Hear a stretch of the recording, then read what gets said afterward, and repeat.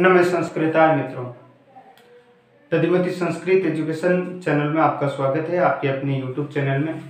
दोस्तों, रीट की परीक्षा अब जो है बहुत नज़दीक है और रीट के प्रश्न पत्र जो संस्कृत का प्रश्न पत्र है, उसमें कुछ नवीनतम सिलेबस को जोड़ा गया है।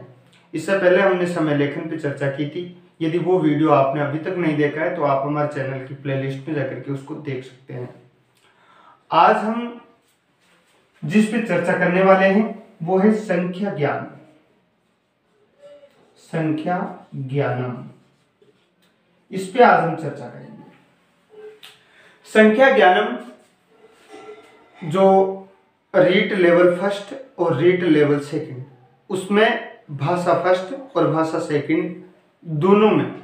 यानी कि लेवल फ़र्स्ट वालों के लिए भी, लेवल सेकंड वालों के लिए भी, और उन विद्यार्थियों के लिए भी जो जिनका भाषा प्रथम के रूप में संस्कृत है या भाषा द्वितीय के रूप में संस्कृत है, समान रूप से उपयोगी रहने वाला है संख्या ज्ञान तो आने वाले पंद्रह मिनट में हम संख्या ज्ञान पे ही चर्चा करने वाले हैं। और आने वाले जो वीडियो है, जैसे अलंकार है, छंद के इससे पहले हमने वीडियो डाल रखे हैं, और जो माहेश्वर सूत्र है, हम उस पर अब वीडियो लेकर के आ रहे हैं। जो कारक प्रकरण है, उस पर हमने वीडियो डाल रखे हैं। इसके अतिरिक्त जो आपका इसमें जो सिलेबस रहेगा, वाच्य परिवर्तन, उस पर भी हमने वीडियो बना रखा है। और उसको बोर्ड पे भी हम जो है, एक बार वापस वीडियो लेकर के उपस्थित हो रहे हैं। यदि आपने वो वीडियो अभी तक नहीं देखे तो आप हमारे चैनल की प्लेलिस्ट में जाकर के उनको देख सकते हैं। तो शुरू करते हैं आज का ये बहुत ही महत्वपूर्ण और बहुत ही सरल हालाँकि इसमें ज़्यादा ध्यान रखने, केवल थोड़ी सी ध्यान रखने की बात यह है कि हमें कहाँ पर किस शब्द का चयन करना है, इतना सा हमें ध्यान रखना है। और सरल भी है, थोड़ा लेंदी भी है, क्योंकि सौ तक संख्याओं का ज्ञान पूछा जाएगा अधिक। ऐसे तो भाई कोटि है, या मतलब करोड़ों तक भी पूछ सकता है, लेकिन जो कठिनाई का स्तर रहेगा वो माध्यमिक शिक्षा उसमें लिख रखा है। तो टेंथ क्लास की जो पाठ्य पुस्तक है उसमें सौ तक संख्याओं का ज्ञान दिया गया है। हम उसको आगे भी मैं बता दूँगा कि भाई दस लाख को क्या बोलेंगे या लाख को क्या बोलेंगे। हमें उन पे उन पे ज़्यादा फोकस करने के बजाय एक से सौ तक की संख्याओं पे हमें फोकस करना है। ज़्यादा, क्योंकि यहीं से प्रश्न आएगा और इन्हीं में एक से चार तक की जो संख्याएँ हैं वो बहुत ही ज़्यादा मोस्ट है। क्योंकि हम ऐसे, हमें पता नहीं लगेगा कि कहाँ पर एक लिखना है और कहाँ पर दो लिखना है। क्योंकि वो, जो चार ऑप्शन होगा, वो चारों में एक एक शब्द लिखेगा और हमें उसमें एक शब्द, सही शब्द का चयन करवाएगा। तो दोस्तों, संख्या ज्ञानम, हम इसमें जो सबसे मोस्ट है, वो है एक से चार तक की जो संख्याएँ हैं, वो यहाँ से ज़्यादा प्रश्न पूछेगा। क्योंकि यही ऐसी संख्या है, जो तीनों लिंगों में अलग अलग रूप से चलती है और यहीं से वो प्रश्न पुटअप करेगा, ज़्यादातर। तो हम पहले इसके बारे में समझ लेते हैं, एक से चार तक। उसके बाद में हम वो भी समझ लेंगे आगे जो संख्याएँ हैं। संख्या एक, संख्या दो, संख्या तीन, संख्या चार। पुलिंग, स्त्रीलिंग और नपुसकलिंग। ये तीनों एक जो संख्या है, ये जो एक से चार तक की जो संख्या है, वो अलग अलग रूप में चलेगी। एक के लिए पुलिंग में एक, एका,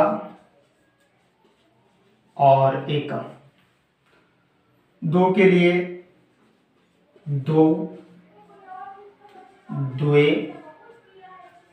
और द्वे तीन के लिए त्रय, तिस्त्र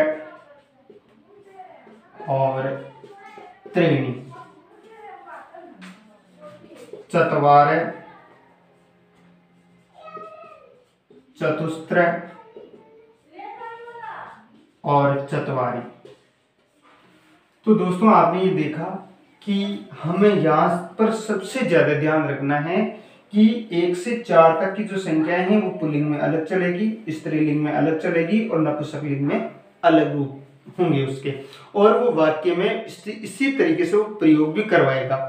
तो सबसे पहले हमें इसमें ये देखना है कि कहाँ पर कौन सी संख्याएँ आएगी। हमें जब भी वो ऑप्शन दे और जब वो वाक्य दे, तब हमें उसमें ये देखना है कि वो ऑप्शन में भरवा क्या रहा है। पहले तो जैसे वो एक भरवाएगा तो या तो वो एक के देगा, एका देगा या एकम देगा। दो भरवाएगा तो दो देगा द्वे देगा द्वे देगा। तीन भरवाएगा तो त्रय, तीसरे, इन तीनों ऑप्शनों में, इन तीनों में से वो, जैसे वो तीन भरवाएगा ना तो त्रय, तीसरे और त्रिणी, ये तीनों ही देगा। अब हमें ये ध्यान में रखना है कि वहाँ पर या तो हमें उस कर्ता के रूप में उसमें कर्ता क्या है? पुलिंग है क्या स्त्रीलिंग है या नपुसकलिंग है। नपुसकलिंग जैसे कोई निर्जीव वस्तु जैसे पुस्तकों के नाम दे सकता है या कोई ऐसी चीज़ें दे सकता है जैसे कोई पहाड़ों के नाम दे सकता है, कोई कलम का नाम दे सकता है, निर्जीव वस्तुओं के वो नाम देगा। और फिर उसमें त्रिणी या चतवारी या द्वे। अब प्रश्न ये भी उत्पन्न होता है कि कैसे पेथने यहाँ पर कि द्वय स्त्रीलिंग का है या द्वय नपुसकलिंग का है? तो ये भी एक महत्वपूर्ण बात है कि इसको पहचाने कैसे कि यहाँ पर द्वय जो है वो पुलिंग का है, या द्वय जो है स्त्रीलिंग का है, या द्वय नपुसकलिंग का है। तो हम उस पर भी अभी बात कर लेते हैं। हम ये भी समझेंगे और हम इनको भी अलग अलग तरीके से समझेंगे। तो दोस्तों, आप चाहो तो इसका स्क्रीनशॉट ले सकते हो, क्योंकि इसके बाद में मैं इसको मिटा करके इसको इनको वाक्य में प्रयोग कैसे होंगे, वो अब मैं समझाने वाला हूँ।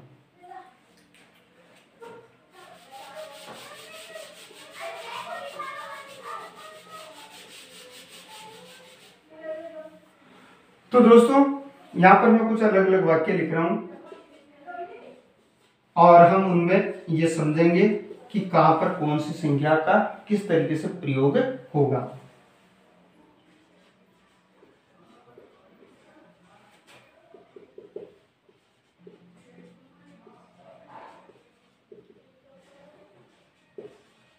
अहम एके बालके पश्यामि।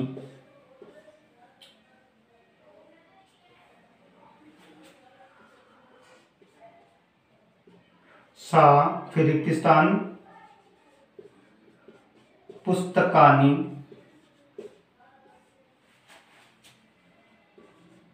पठती।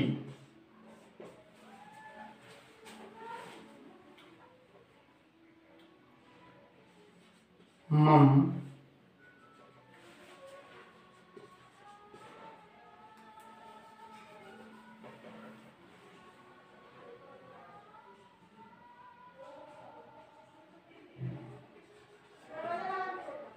पुस्तकानि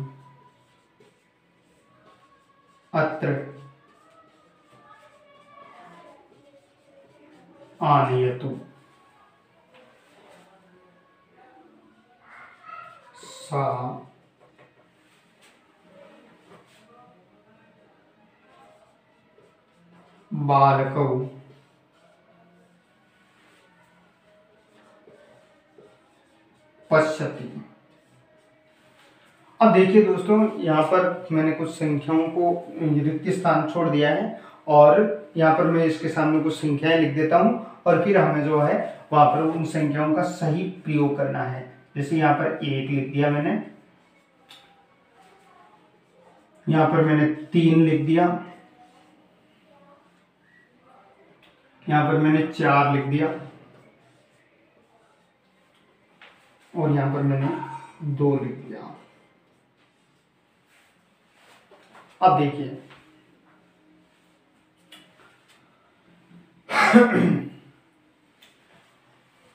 सबसे पहले वो किसकी बात कर रहे हैं? एक की। एक और अब एक जहाँ पर रिक्त स्थान में, जहाँ भरा जाएगा। अब इसको ऑप्शन कैसे देगा? एक है, एक एकम एका या एक। ऐसे ऑप्शन देगा। तो हमें तो पता है, एक को एक बोलते हैं, दो को द्वे बोलते हैं, तीन को त्रय बोलते हैं, चार को चतवारे बोलते हैं, पाँच को पंच बोलते हैं, छह को छठ छठ बोलते हैं, सात को सप्त बोलते हैं, आठ को अष्ट बोलते हैं, है ना? तो हम कैसे भरेंगे कि अब यहाँ पर ये देखिए कि ये रिक्त स्थान से ठीक पहले, ठीक बाद में क्या लिखा हुआ है? बालक है है ना? तो बालक जो शब्द है, वो किस लिंग का है? पुलिंग का है, स्त्री का है या ये नपुसकलिंग है। तो हम सबको बताया बालक जो है वो पुलिंग का है। तो पुलिंग के लिए एक शब्द क्या आएगा? एके एका एकम। तो यहाँ पर क्या भरा जाएगा एक बालक है पश्यामी, अहम एक है बालक है पश्यामी। अब यहाँ पर ये क्या कर? रहा है अगले में तीन तीन ऑप्शन को भरवाना चाहता है। तो वहाँ पर वो तीन में भी ऐसे ही देगा। त्रय देगा तीसरे देगा, त्रेणी देगा, या कोई एक ऑप्शन और दे सकता है। ऐसी स्थिति में रिक्त स्थान के तुरंत बाद में क्या लिखा हुआ है? पुस्तकानी। पुस्तक क्या है? नपुसक लिंग है। तो तीन के लिए नपुसक लिंग रूप क्या बनेगा? त्रीणी। क्या बनेगा? त्रीणी। तो यहाँ पर हम क्या करेंगे? सा, त्रीणी पुस्तकानी पठती।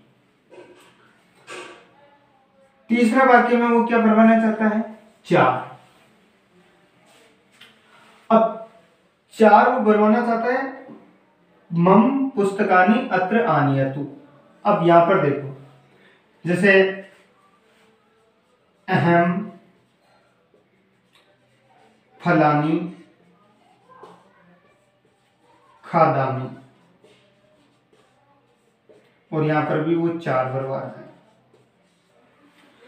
अब यहाँ पर देखो, पुस्तक भी नपुसक लिंग है और फल भी नपुसक लिंग है। हमें ये ध्यान रखना है। अब ये पुस्तक नपुसक लिंग है और फल भी नपुस्तक लिंग है और वो हमसे भरवा क्या रहा है? चार भरवा रहा है। तो चार में भी वही ऑप्शन देगा। कहीं चतुर देगा, कहीं चतवारे देगा, कहीं चतुस्त्र देगा, कहीं चतवारी देगा।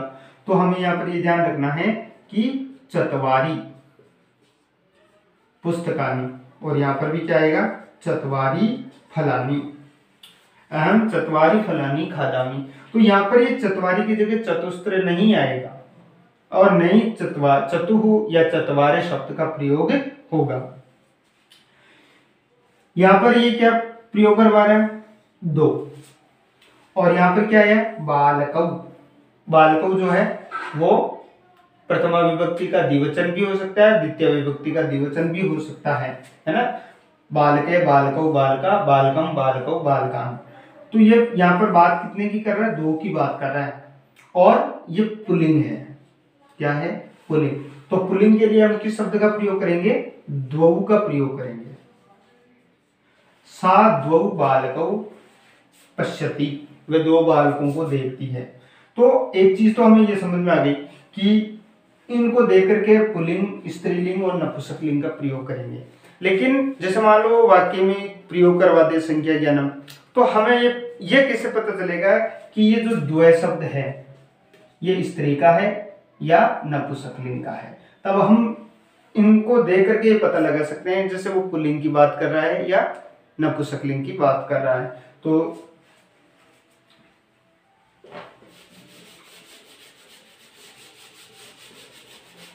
देखिए दोस्तों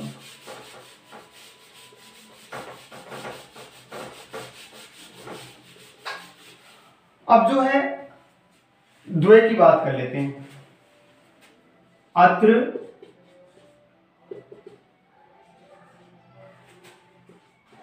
कन्या स्तः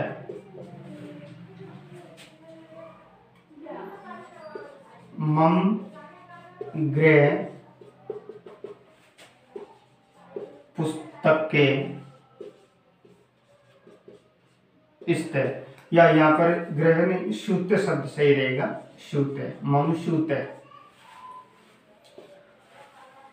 अब कन्या बालिका, बालिके, बालिका, कन्या कन्या कन्या, ऐसे रूप बनेंगे। तो आकारांत स्त्रीलिंग में तो कन्या जो शब्द है वो स्त्रीलिंग शब्द है।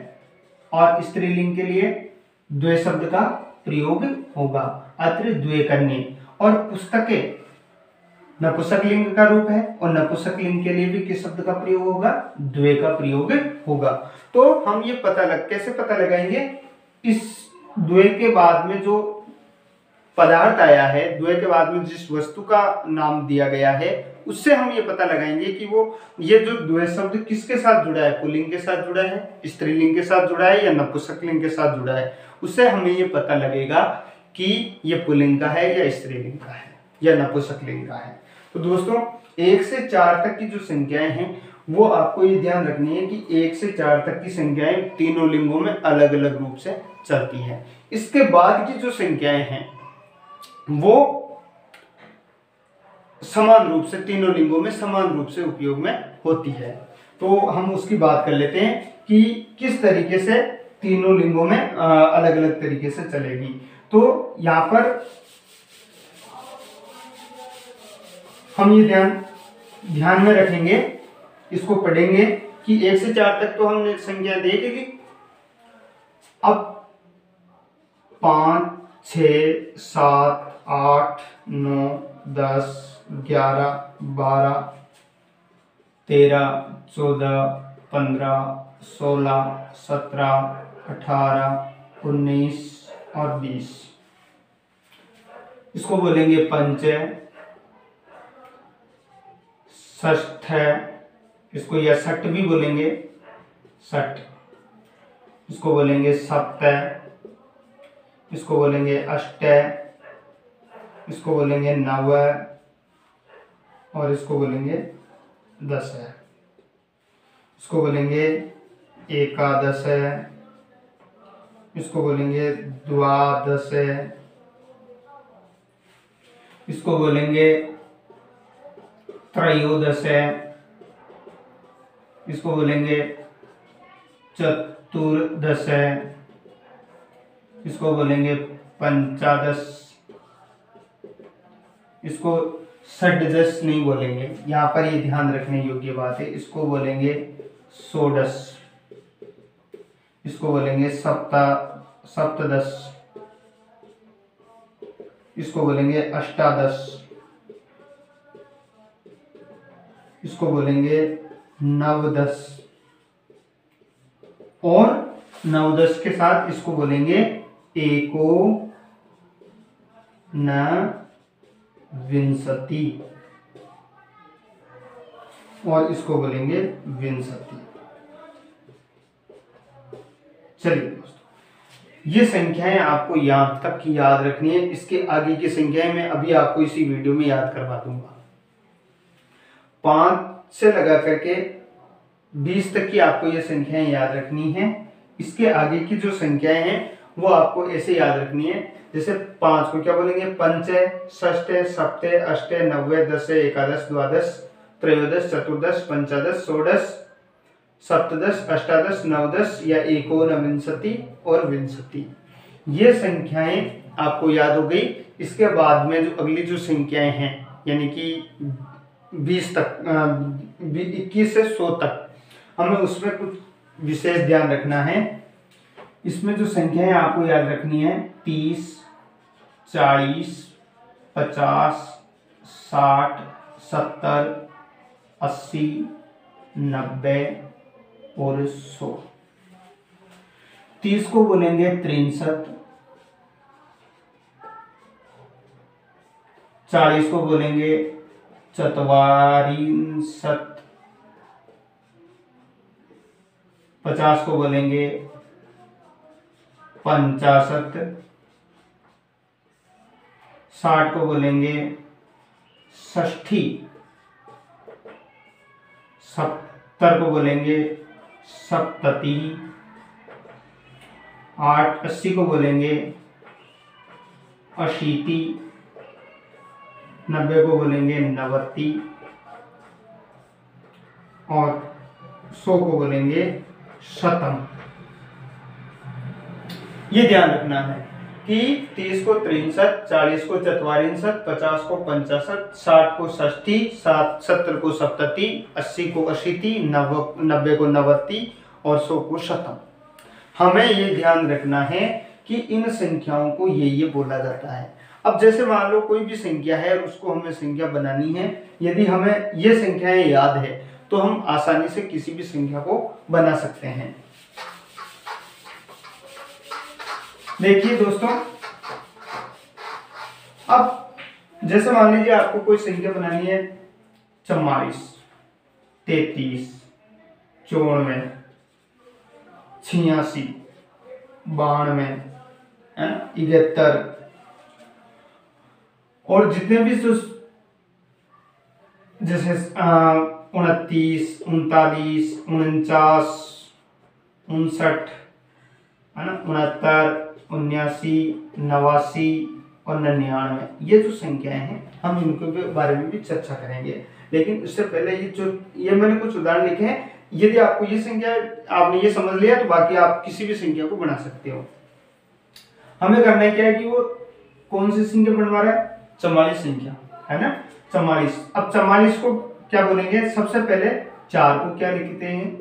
चतुर ठीक है? और चालीस को क्या लिखेंगे? चतवारी तो चतुर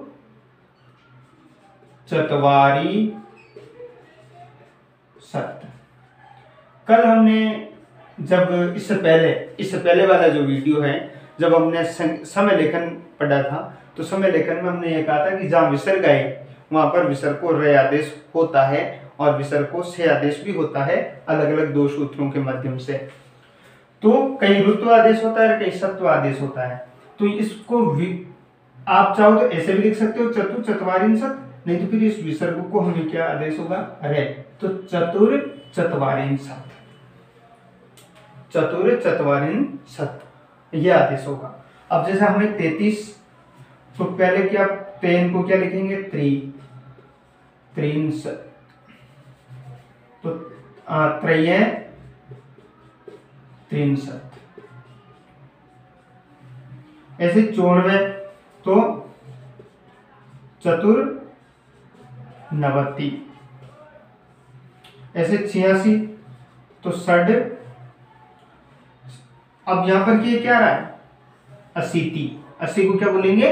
असीति तो टे का डे हो जाएगा और डे में ए जुड़ेगा तो सडस सडसीति इसको क्या लिखेंगे? सडसीति क्योंकि ए जो है, इसमें मिला करके लिखेंगे। जैसे मान लीजिए जैसे पिचासी है है ना? तो पिचासी क्या, पाँच को क्या है? पंचा, और ए और मिलकर के आ बन जाएगा तो पंचाशीति इसको क्या क्या लिखेंगे? पंचाशीति तो हमें एक तो अस्सी वाले में ये ध्यान रखना है कि ए को मिला करके लिखना है और केवल छह वाले को छोड़ करके। ऐसे जैसे बयासी लिखना है हमें तो तो द्वया सीति ऐसे ध्यान रखना है। जैसे बानवे है तो द्वय द्वय या द्वय नवती द्वय नवती ऐसे इकहत्तर है तो एक है सप्तति, एक सप्तति। तो जैसे इकहत्तर को एक सप्तति, दो बेहतर को द्वय सप्तति, त्रय सप्तति, चतुर सप्तति, पंच सप्तति, षड सप्तति, अष्ट सप्तति और अस्सी को क्या बोलेंगे? अशीति। अब आपको ये संख्या बनानी आ गई अच्छी तरीके से कि हम किस संख्या को कैसे बनाएँगे। तो त्रय त्रयसी चतुर्नवती षडशीति, द्वयनवती, एक सप्तति। हमें जब ये संख्या बनानी आ गई, अब हमें इन संख्याओं को कैसे बनाएँगे? जैसे उनतीस है, उनतालीस है, उनचास है, उनहत्तर नवासी निन्यानवे इनको से इन संख्याओं को बनाने का दो तरीके हैं। जैसे मान लीजिए, वो एग्जामिनर तो क्योंकि हमारे वहाँ हम बात लिखेंगे तो है नहीं, वो तो एग्जामिनर जो है ऑप्शन में लिख करके देगा। तो हमें इन दोनों चीज़ों पे ध्यान रखना पड़ेगा। जैसे मान लीजिए वो हमसे उनतालीस लिखवाना चाहता है। और ऑप्शन देता है उनतालीस का। तो उनतालीस का मतलब क्या है? जो चालीस है ना उसमें एक कम या फिर तीस प्लस नौ ऐसे। जैसे हमने उन्नीस में किया था नव दस या एक विंशति। तो ऐसे उनतालीस में भी आपको दो संख्याओं को बनाना है। एक तो तीस प्लस नौ तो नव त्रिशत एक तो ये नव त्रिशत। और एक, चालीस में एकम। तो एकोन एकोन चतवारिन सत। एकोन चतवारिन सत। अब समझ में आई बात। दोनों में अच्छी तरीके से आपको ये समझ आना चाहिए कि उनतालीस की संस्कृत कैसे बनेगी? नव त्रिशत या एकोन चतवारिंशत ऐसे मान लो आपसे जैसे उनसठ की संस्कृत लिखवाना चाहता है। आसाम, आराम से समझ आएँगे तो पचास को क्या बोलेंगे? पंचाशत तो ऐसे ही नव पंचाशत नव पंचाशत हो गया। या फिर उनसठ का मतलब साठ में एक कम है। तो दूसरे क्या लिखेंगे? एको न ष्ठी एकोन ष्ठी ऐसे उनहत्तर को क्या बोलेंगे? जैसे नवष्ठी या एकोन सप्तति ऐसे उन्यासी को क्या बोलेंगे? Seventy nine. इसको हम जैसे सत्तर प्लस नौ तो नव सप्तति या फिर एको न अशीति एको न शीति एको न शीति तो अब आपको ये समझ में आ गया होगा। तो ऐसे ही एकोन शतम या नव नवती तो निन्यानवे को क्या लिखेंगे? नव नवती। या फिर एको न शतम ऐसा लिखेंगे आप एको न शतम या नव नवती तो आज का ये जो टॉपिक था, एक से सौ तक की संख्याओं का ज्ञान। इसके बाद में जैसे हालाँकि इससे ज़्यादा पूछेगा भी नहीं सौ तक की संख्याओं का ही आ, हमारे माध्यमिक स्तर पे है और उन्होंने भी यही साधारण जो सिलेबस है उसमें भी इतना ही दे रखा है कि साधारण संख्याओं का ज्ञान पूछा जाएगा बालक से। कठिनाई का स्तर जो है इतना ही रहेगा। इसके बाद में यदि मान लो जैसे सौ सौ के बाद में हज़ार तो हज़ार को सहस्त्र बोलेंगे। सहस्त्र है ना? जैसे लाख तो इसको लक्ष्य बोलेंगे करोड़ तो इसको कोटि ही बोलेंगे। दोस्तों, आज का ये वीडियो आपको कैसा लगा? और अगला जो वीडियो है, वो किस विषय पर लेकर के आए? अलंकार पे हम बहुत जल्द वीडियो, कल इस सब पे, इसके बाद में जो वीडियो होगा, वो अलंकार पे होगा। आशा करता हूँ ये वीडियो आपको पसंद आया होगा। और अपने मित्रों के साथ ज़रूर से इसे शेयर करें। मिलते हैं अगले वीडियो में। तब तक के लिए जय हिंद, जय भारत।